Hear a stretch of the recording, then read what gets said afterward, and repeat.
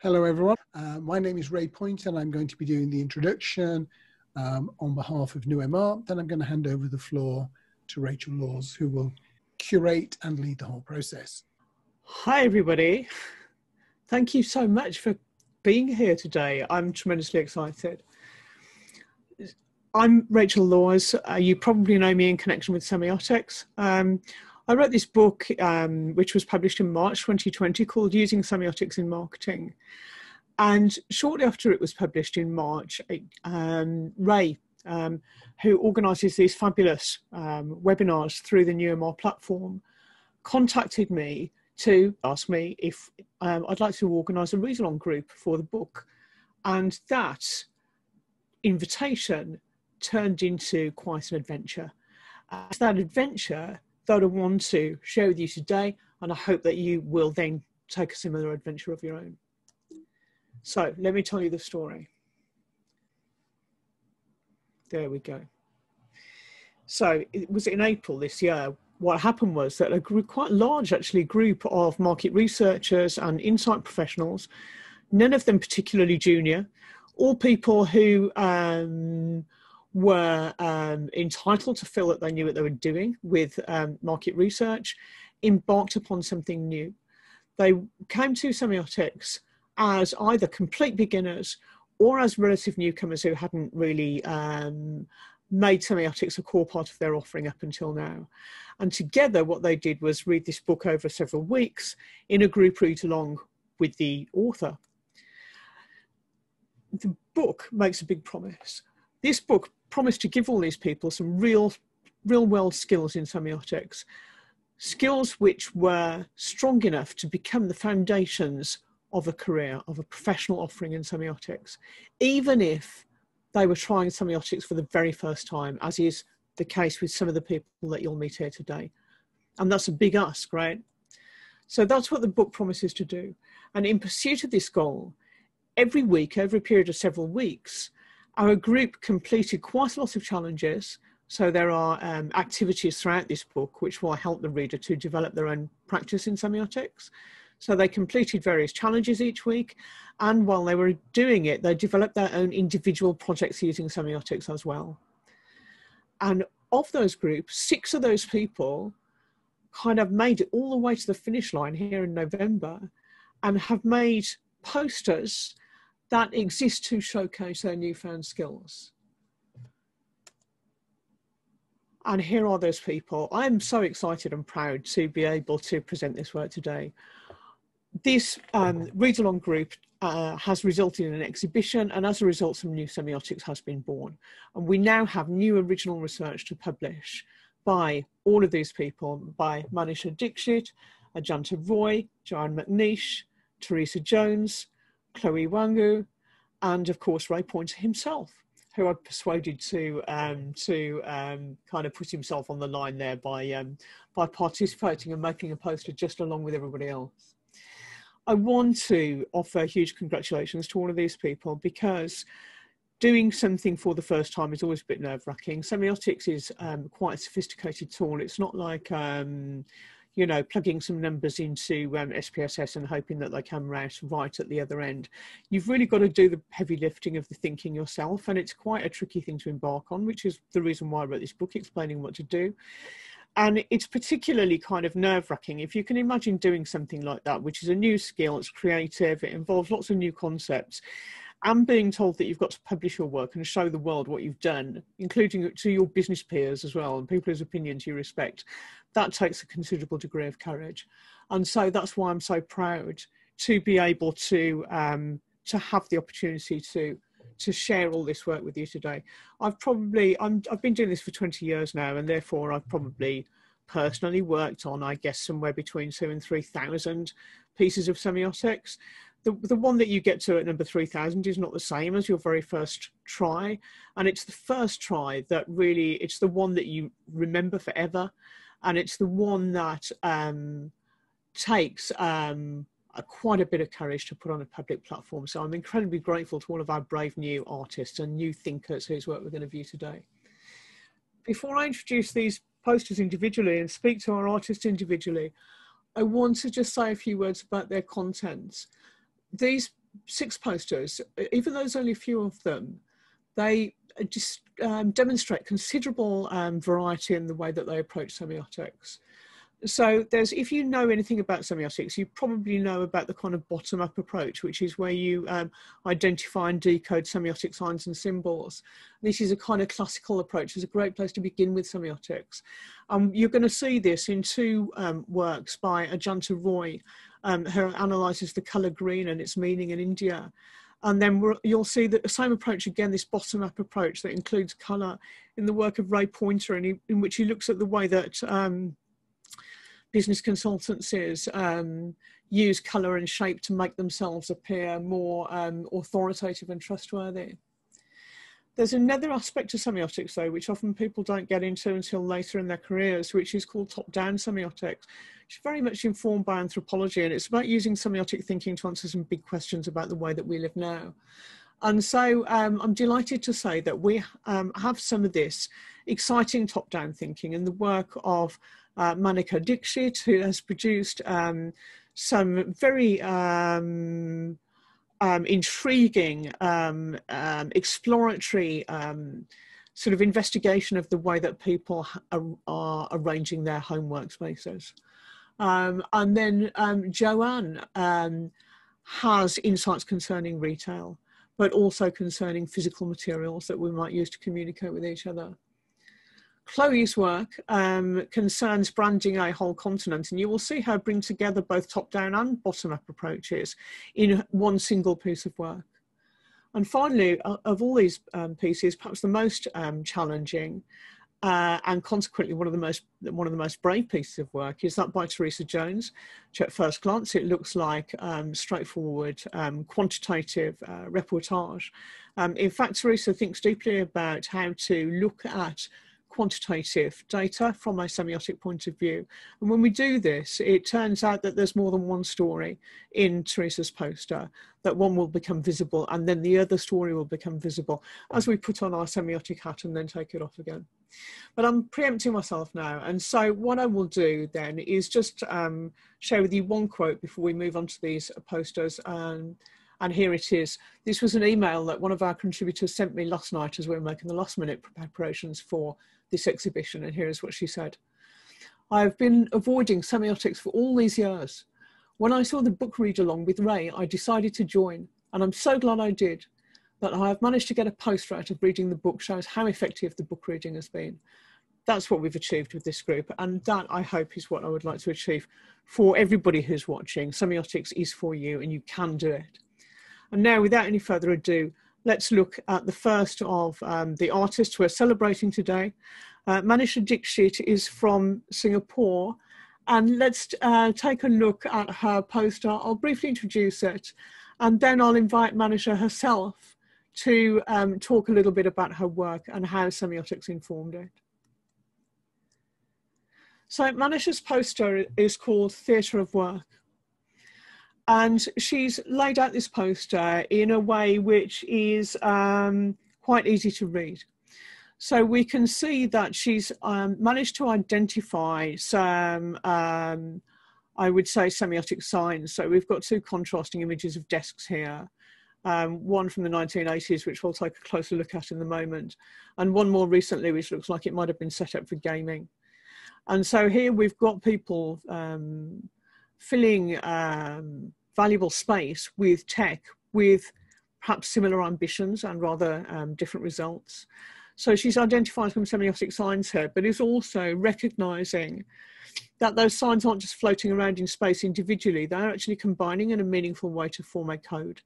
And that code has to do with the transformation of um, a domestic space into a workspace.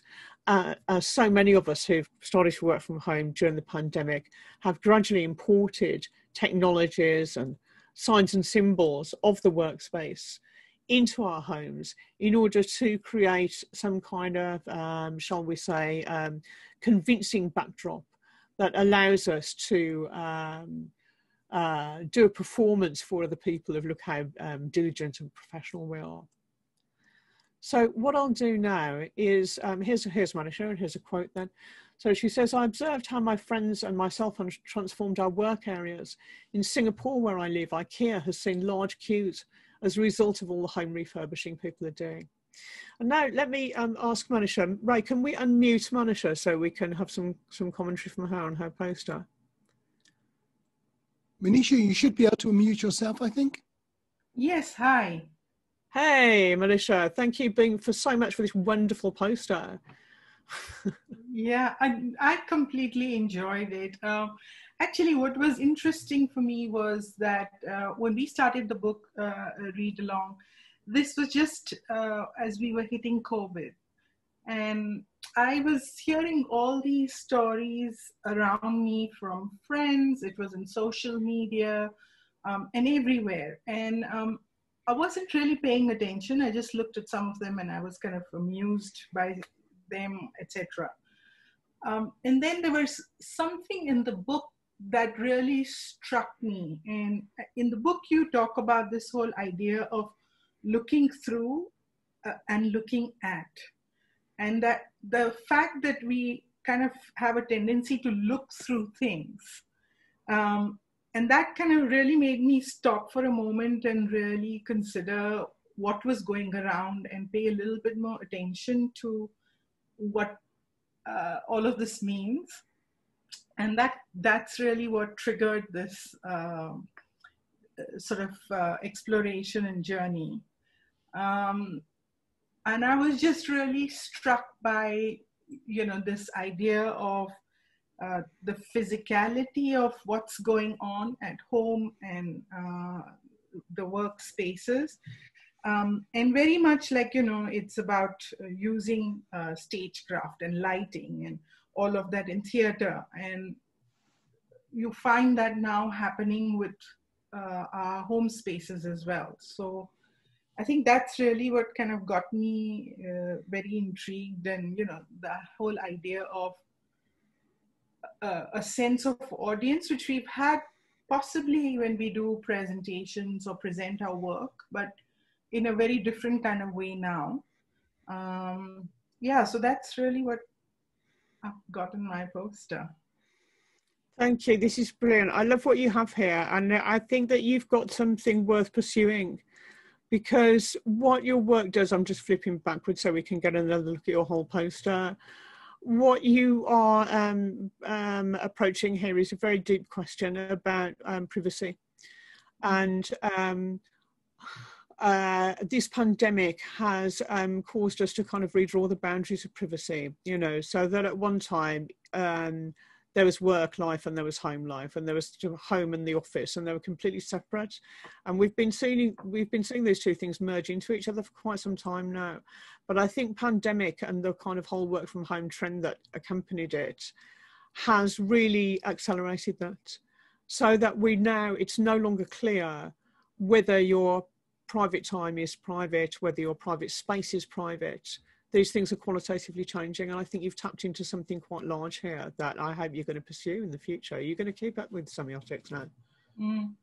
Oh, yes, definitely. I mean, um, you're absolutely right. Like home spaces and what do they mean uh, to people and how we're crafting those is, uh, is something that's really interesting to look at.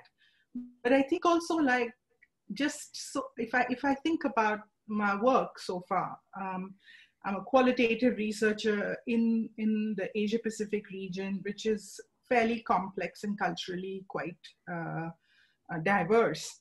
And in all of my work, um, I, you know, I collect quite a bit of uh, material and including visual material, which again I've been ignoring so far. Mm. And so I think for me, this is really kind of um, adds on layers to um, the, the, kind of work that I can do and the kind of uh, output and the nuances to understanding that complexity. Um, mm-hmm. So yeah, certainly I'm kind of looking forward to you know continuing on that journey. It's fantastic, Manisha. Thank you. And I hope that you'll say some more of that in our discussion session at the end as well. Thank you. Thank and let's now turn um, to Ajanta Roy.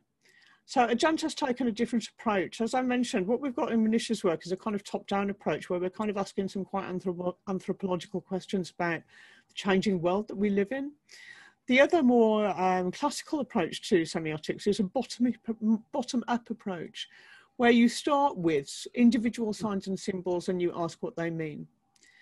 And um, Ajanta has um, picked on the colour green and decided to um, ask some questions about how does it function, for example, in brand marks.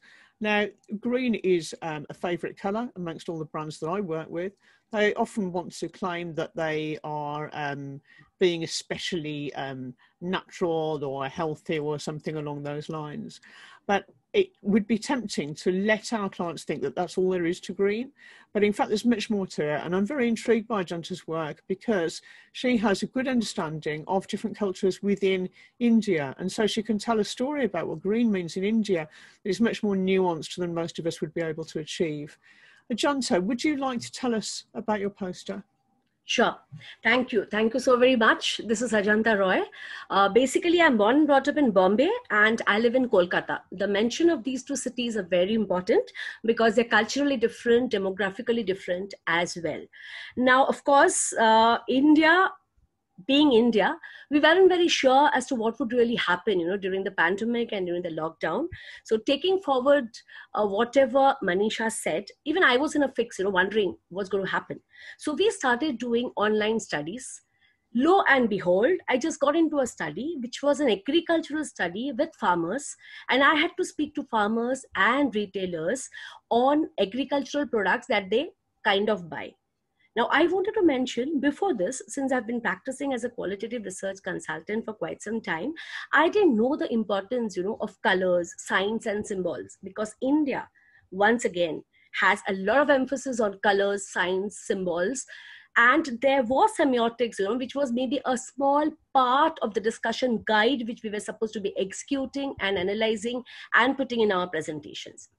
So, incidentally, it was during that time that I got to know about the book and of course it was using semiotics and marketing and i couldn't get the book but i thought let me explore. So it was kind of parallelly happening.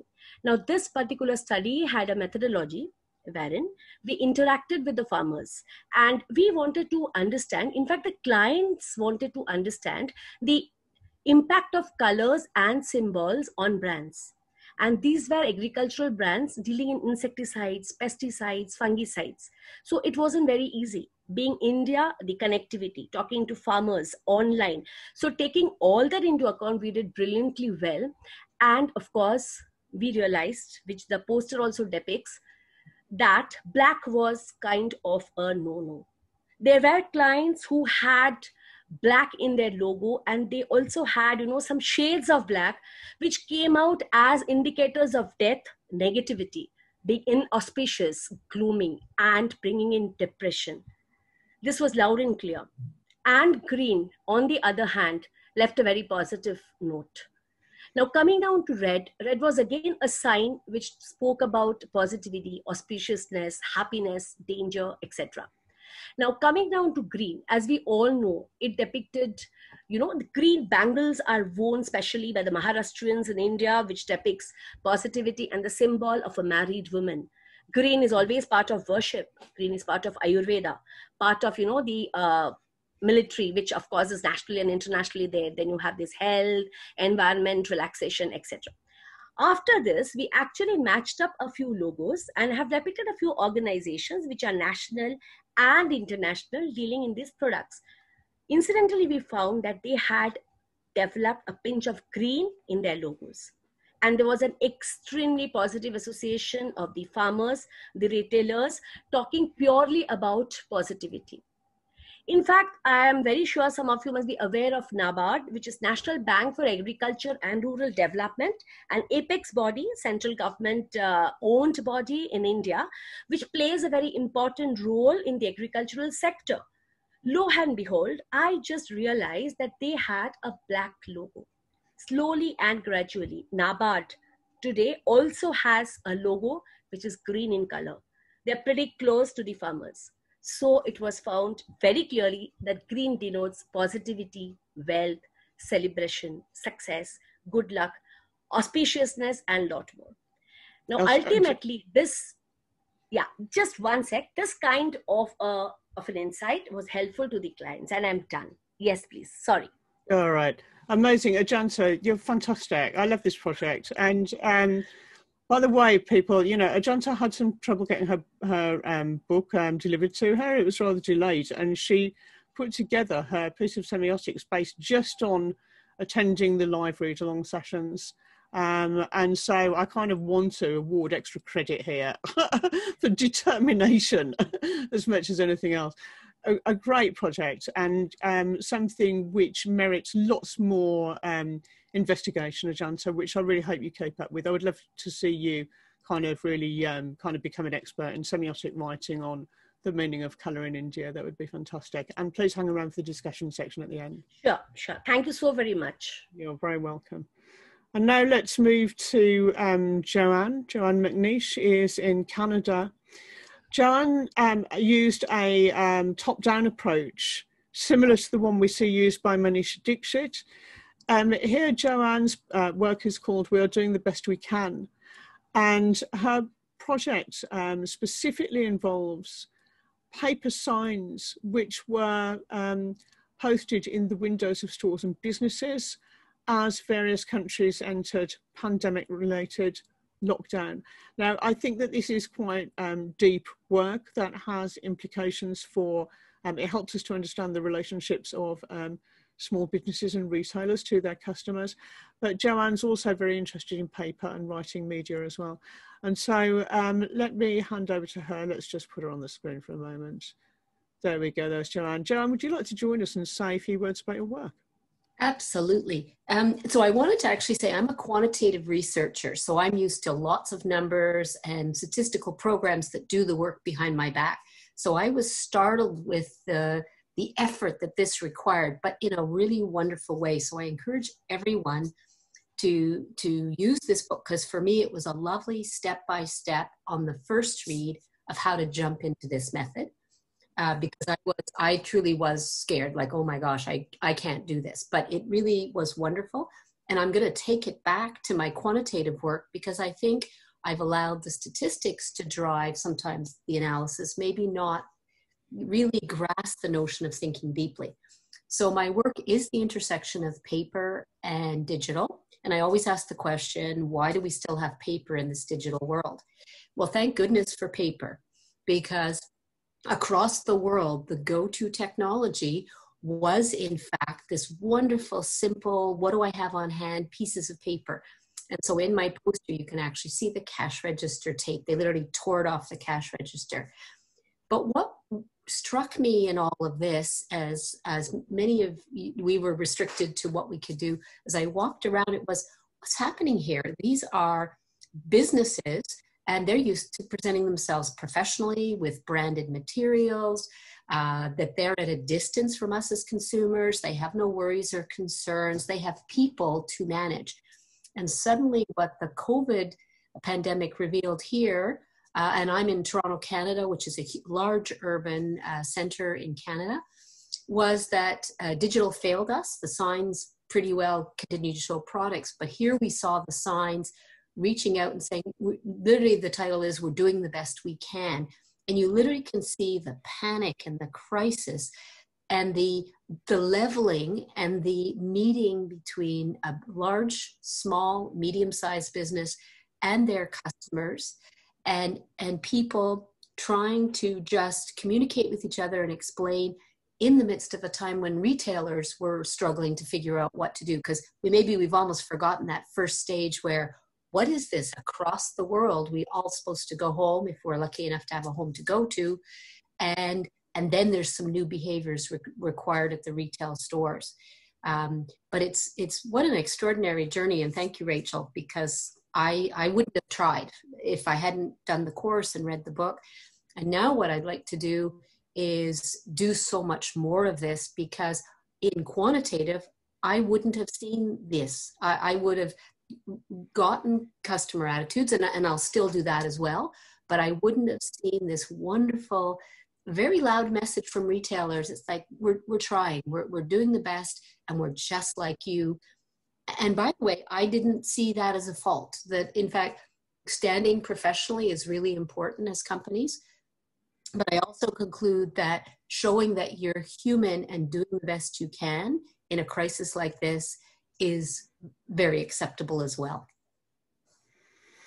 I, th- I think you're so right. I, lo- I love this work, and I think that um, one of the things that I, I try to advise brands to do when they're working on their relationships with consumers is it's, it's really important to sort of position yourself as a business as being on the same team as your customer, isn't it? Mm-hmm. That look, we're yes. on the same side here. And I think these kind of, there's a, a, certain innocence and intimacy and freshness about those handwritten um, signs which are um, doing that job really well, which larger brands could learn something from that, I think. Mm-hmm.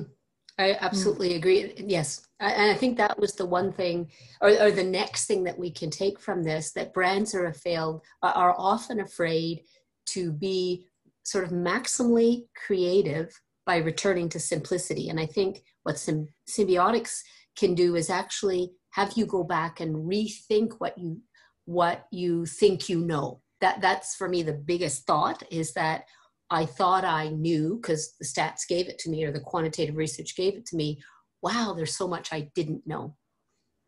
Fantastic. What a ringing endorsement. Thank you, Joan. I'm so thrilled for you. I hope you have a lifelong journey with semiotics and will oh. hope it delivers endless rewards for you as it has for me. Let's move on and meet our next artist, Theresa Jones.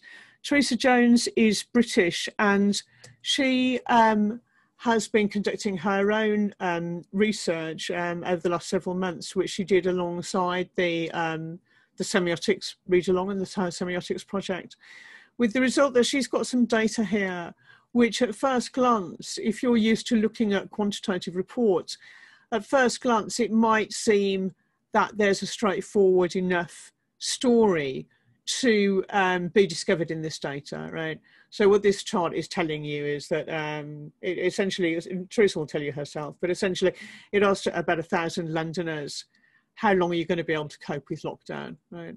And what we can see is that some people feel they'll be able to endure it for only a few weeks, and some people are kind of optimistic about being able to put up with it for a very long period of time. Now, we could just take that at face value, but I am I think that um, uh, with a semiotic hat on, Theresa discovered another story in that data which shifts in and out of view depending on whether or not you're using a semiotic perspective to analyze it. Theresa, tell us something about your work if you would. And also, do you want to take yourself off mute to do that? Hi. Hey, Theresa. Hey, talk to us about your work.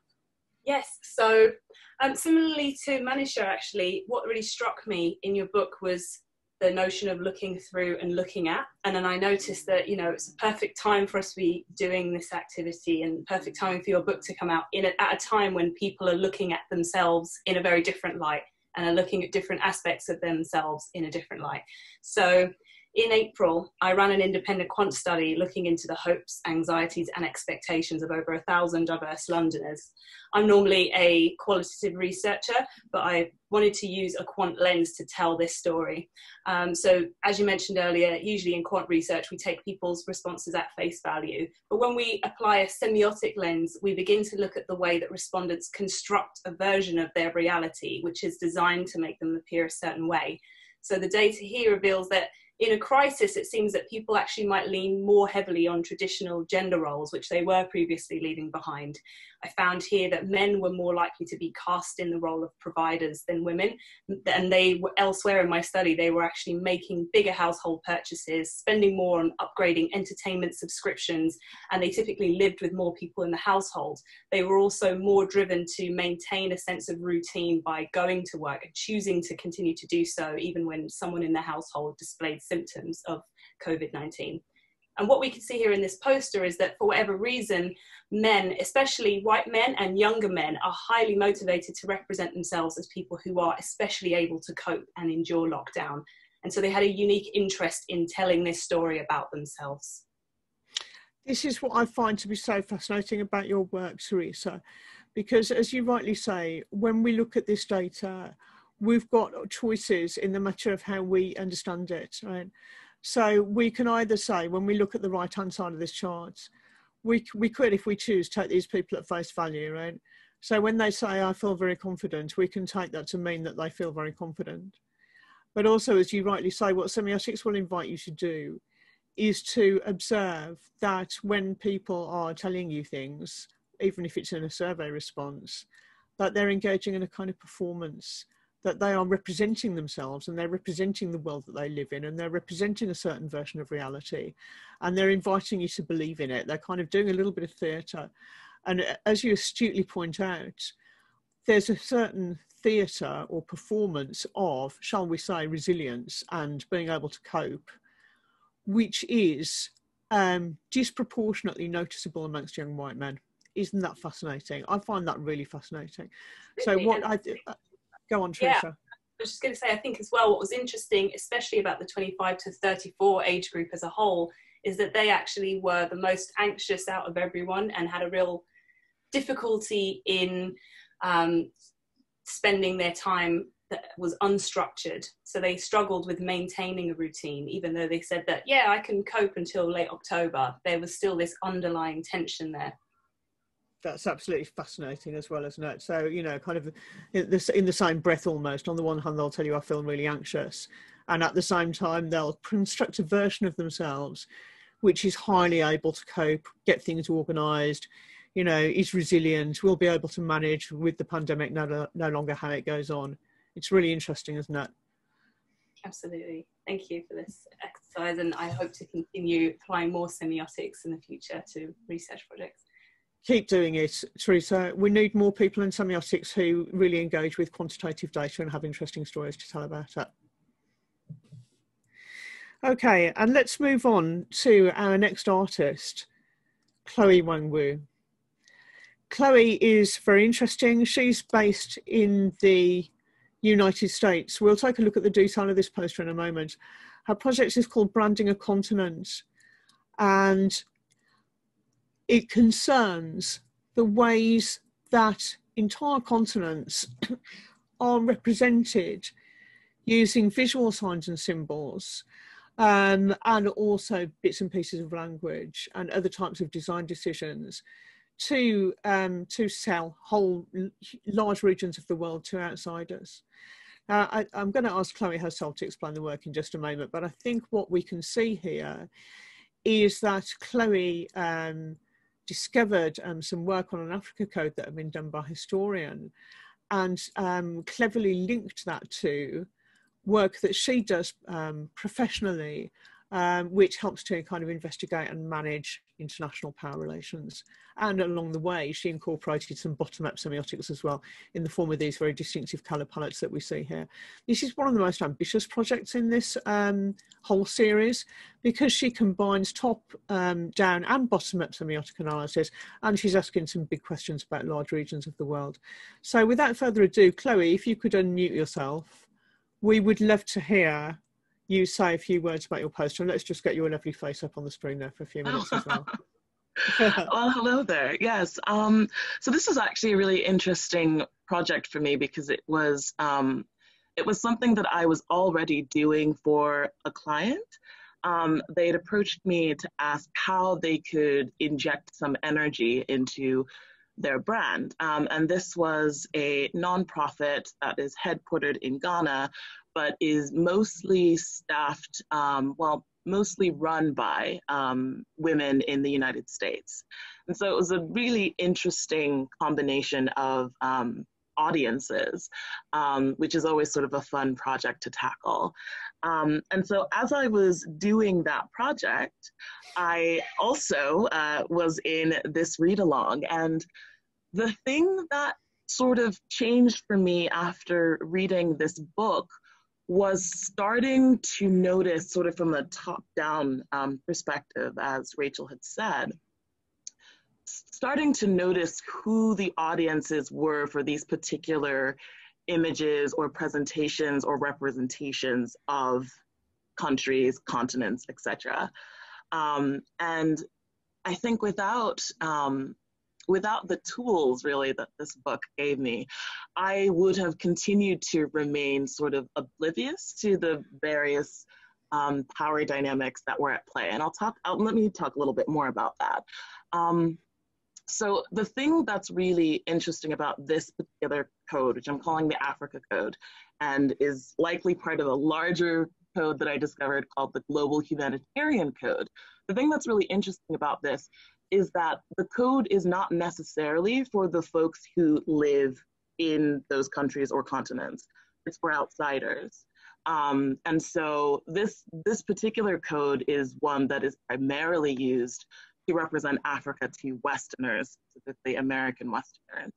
Um, and where power dynamics sort of come in is there are um, there are many different camps of people who are interested in representing Africa as a continent, for example. We have people who are outside of Africa who are interested in representing it. We have people who are inside Africa who are interested in representing it. And the curious thing is to look at um, which representation sort of takes primacy, which representation is the one that's considered standard or right. Um, and I say that in air quotes. And um, what I have found is that the uh, representation that sort of originated in Western culture has started being adopted by organizations that exist in Africa, especially when their audiences are Western. Um, and by audiences, I mean donors specifically. So that was something really interesting that I I would not have gotten to that level of analysis without this uh, this particular project.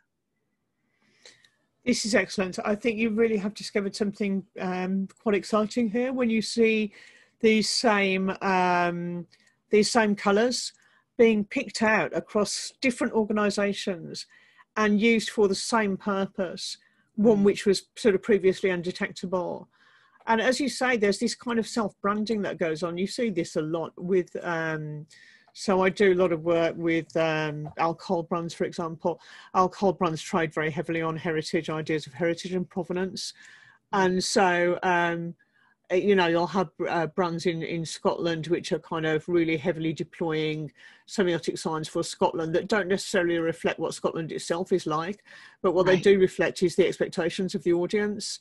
And mm-hmm. I think mm-hmm. you've got something here with similar, uh, along similar lines, haven't you, with the way that these images of Africa are being put together uh, and the strategies adopted in order to appeal to um, um, people who are remote audiences, I guess, who only have a limited knowledge to work with.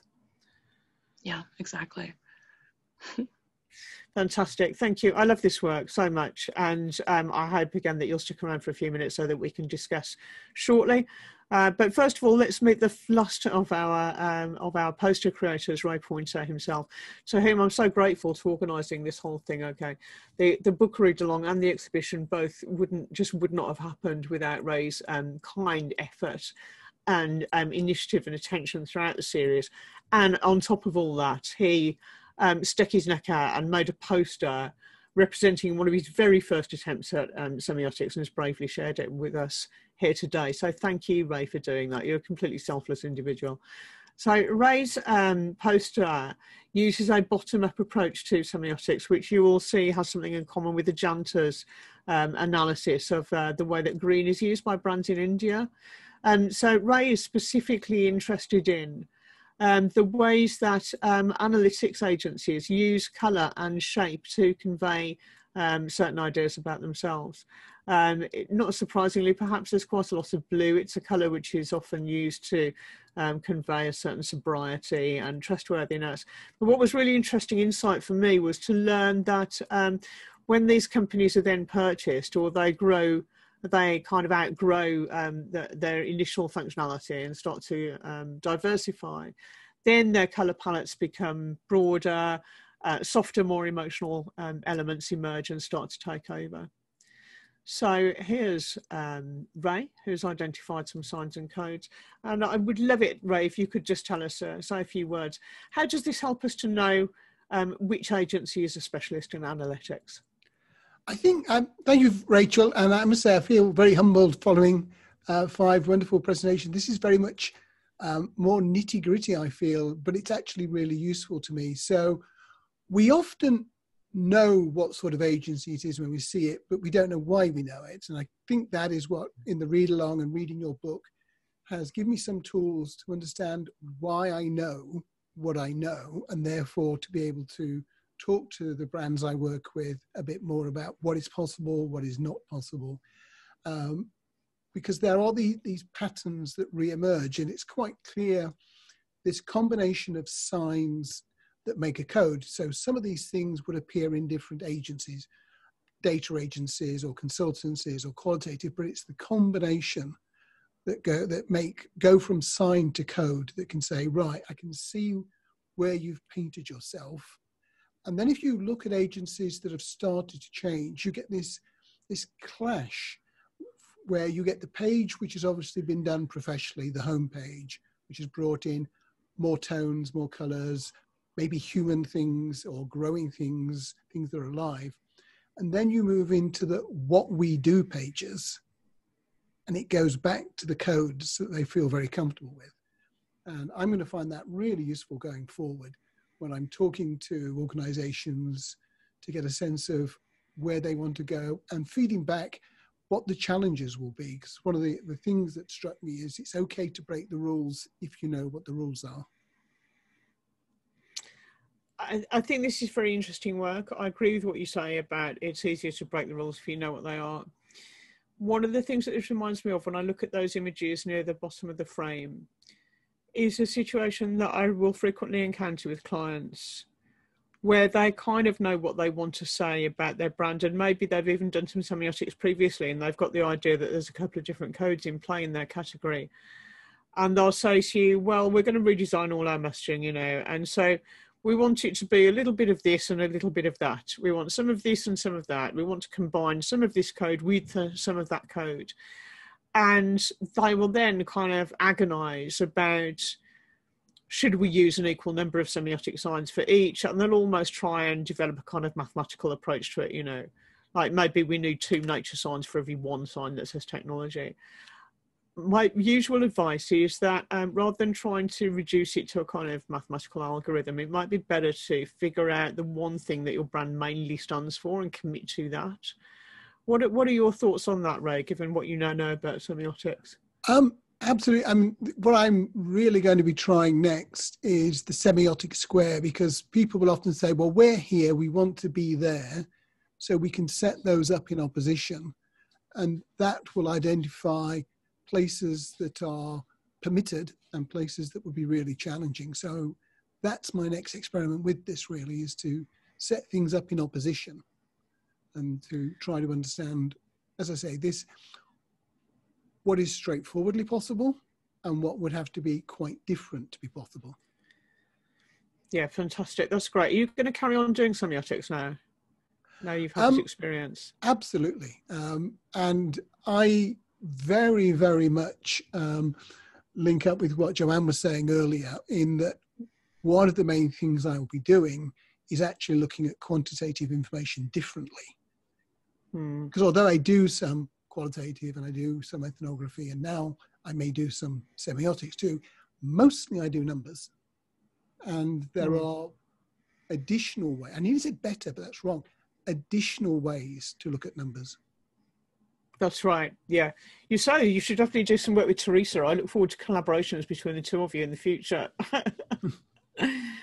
okay. Well, thank, thank you, Ray. And thank you so much to all of our um, uh, presenters. So I'm just briefly going to say the book that got all of those people off the ground with semiotics was this book right here. It's available Amazon, Kogan Page Worldwide, and so forth.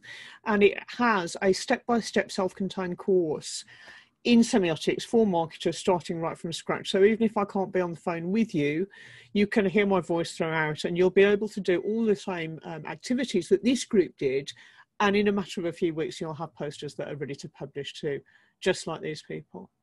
And so that's the um, the end of the kind of formal presentation things. Let me hand back over to um, to Ray to um, MC the final part of our session, uh, which is a discussion. Thank you, Ray. Thank you so much, Rachel. And um, if the, the, panelists all want to unmute themselves, that would be great. If anybody in the audience um, have any specific questions, comments, um, thoughts, please do type them into the chat. We've had one or two very nice uh, comments sent through to the panelists, which is uh, much appreciated.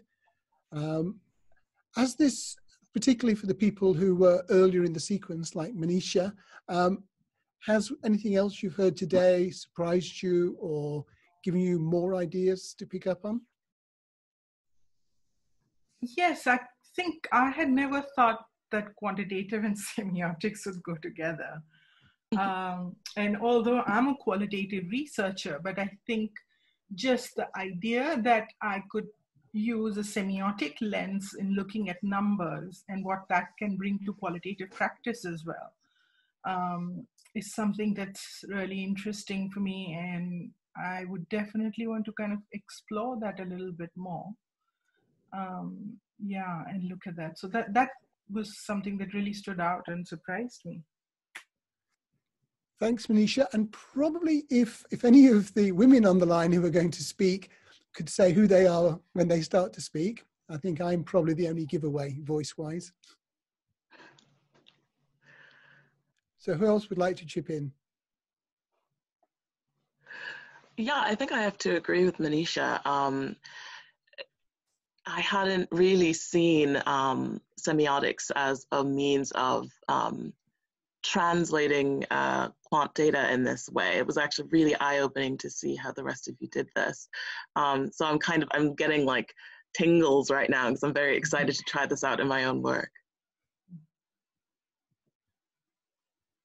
Absolutely, it's Theresa. Um, yeah, I, I found this a really nice challenge to rise to in terms of looking at the data I'd amassed from my study where I'd asked people about literally every facet of their lives um, back in April and applying it to this to the to the data really. And I think for me it was where I started to see how people were constructing themselves physically in lockdown and how mm. they were reporting it was really fascinating as well. Um, particularly where elsewhere I had data that that told me that men were grooming themselves more than usual in lockdown and actually women were grooming themselves less in lockdown. Mm. And when you look at the fact that a lot more women, especially with children, were taking on childcare responsibilities as well as work in many cases, right.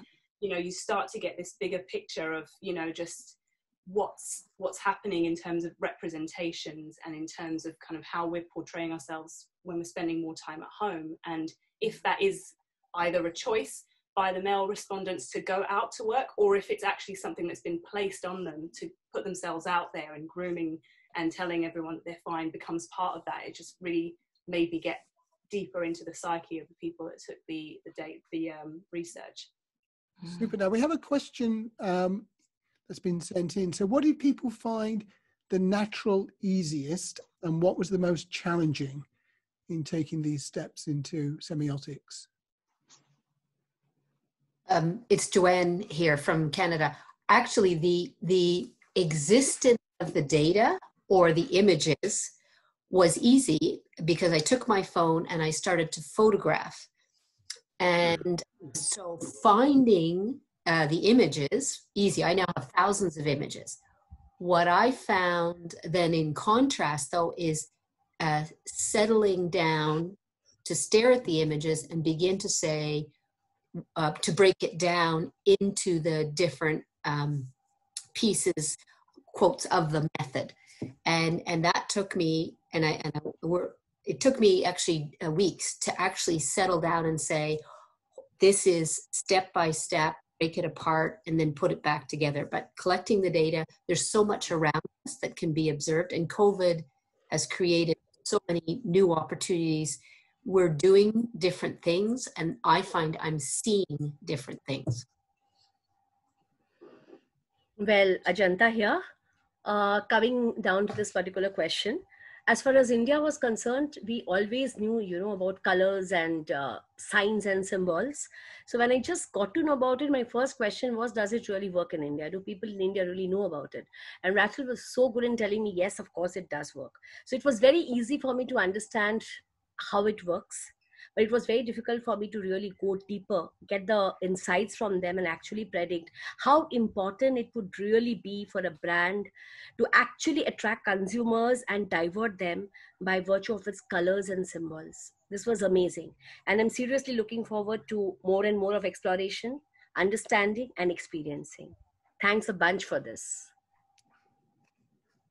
Um, if I can sort of add to that uh, a response to that question, for me, what I found was it was an aspect of unlearning because mm. once I look at um, pictures, the, the immediate response is kind of, you know, begin to classify that data. But semiotics is not about classification, as I learned from uh, Rachel, right? It's and, and so to really kind of uh, get out of that mindset and to look at what you've got in a very different way. Um, yeah i think that for me was the most difficult piece in it.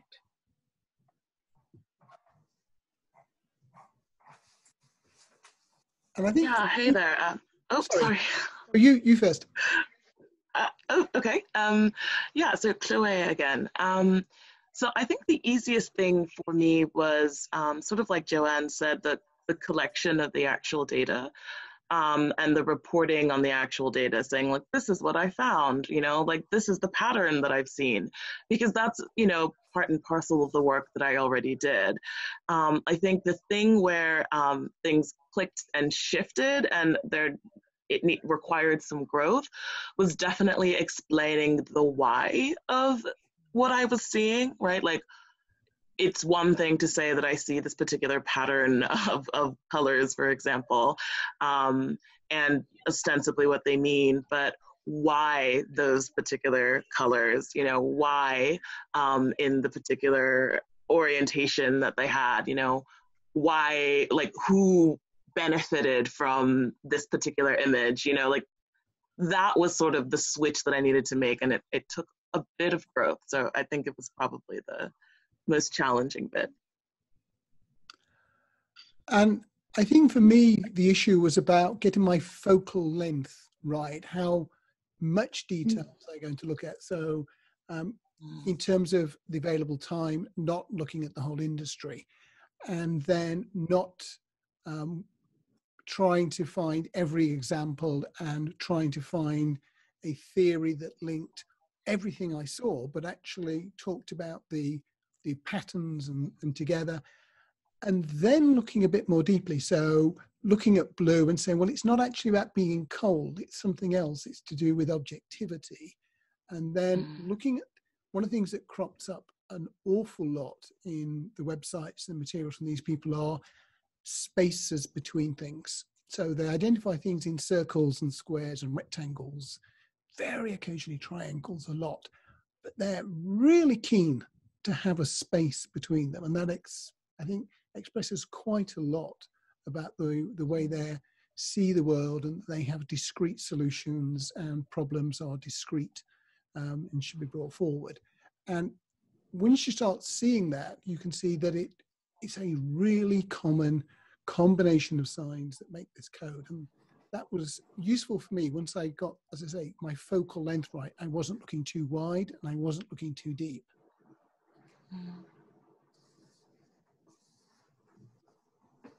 I, have absolutely loved hearing everybody's commentary. It's been such a pleasure to work with all of you over the weeks and to see everybody's skills emerging so rapidly and then resulting in these wonderful posters at the end. Thank you so much. I'm sorry that we're, we're about out of time. And so I want to say thank you. You've all been wonderful. And I hope that everybody's going to continue making semiotics and uh, unleashing it on the world. And you can too, listeners, if, uh, as you can see, um, if you um, read the book, follow the exercises, and you too will be um, able to publish your own work in semiotics before much too much time has elapsed.